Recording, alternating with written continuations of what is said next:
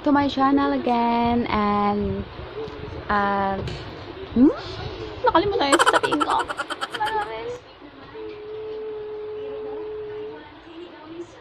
Nagbibigay ako mahal. Na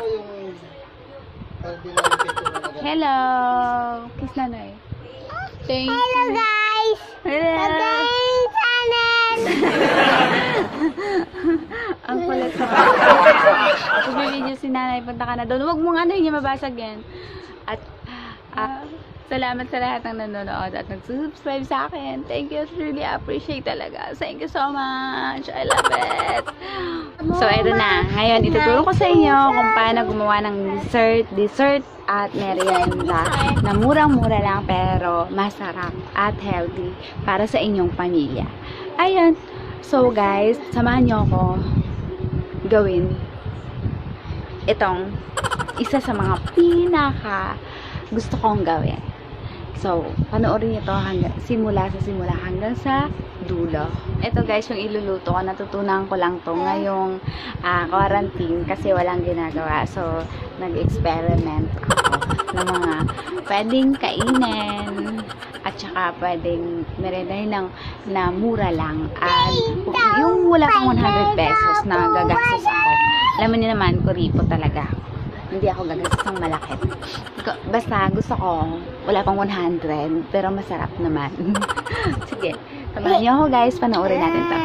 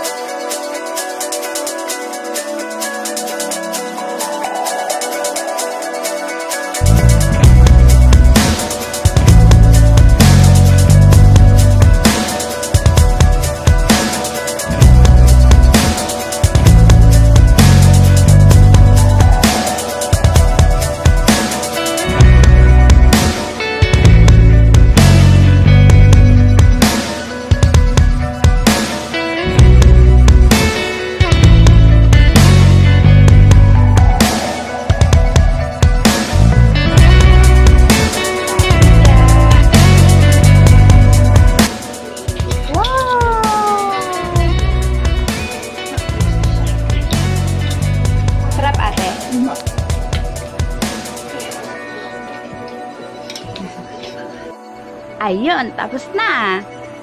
Sana guys, may natutunan kayo sa video na napanood nyo. Kung, nagustuhan yung video ko, just comment, subscribe, and click the bell button para pag may bago akong video, mapapanood nyo. Guys, thank you so much. Bye-bye!